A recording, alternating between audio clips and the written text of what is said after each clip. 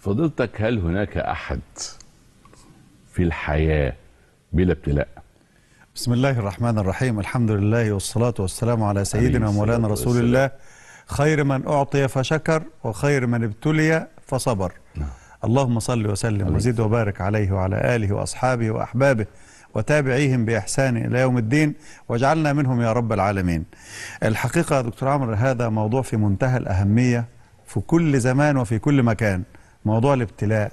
لأن الابتلاء زي ما حضرتك دلوقتي سألت ده مكون من مكونات الرزق.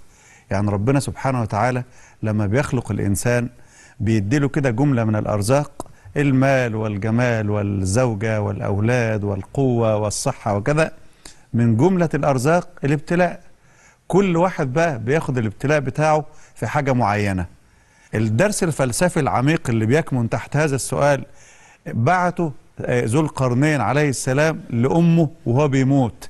حضرتك عارف إن ذو القرنين اللي ربنا ذكر لنا قصته في سورة الكهف طوف الشرق والغرب ومشارق الأرض ومغاربها وربنا اداله أسباب يوصل بها إلى المكان اللي الشمس بتشرق منه والمكان اللي بتغرب فيه إلى آخره.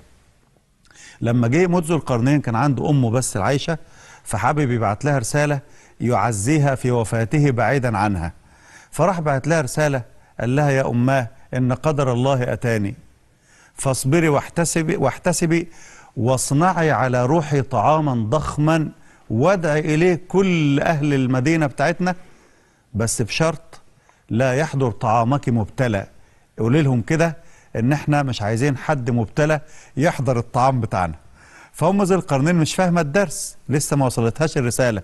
فراحت عاملة طعام ضخم جدا جدا وليمة ضخمة وبعتت منادي ينادي في الناس إن أم ذي القرنين صنعت طعاما فاحضروا طعامنا ولكن لا يحضر طعامنا مبتلى. اللي عنده بلاء ما يجيلناش. اتفاجئت إن يوم الطعام لم يحضر أحد من الناس ابدا. ففهمت الدرس إنك لست وحدك يا أمي في الابتلاء وإنما كل الناس مبتلاه. الله. وكل واحد بيبتلى بشكل معين وفي حاجة من جملة الأرزاق اللي ربنا أعطاها له بس المهم جدا كيف نستقبل أقدار الله وابتلاءات الله عشان ننجح وما نخسرش الآخرة مع الدنيا. وعلشان آخد الدرجة اللي أضمن بيها إن الابتلاء ده رزق جميل جدا ربنا بعته لي. ونعمة من الله قد ينعم الله بالبلوى وإن عظمت ويبتلي الله بعض القوم بالنعم. الله.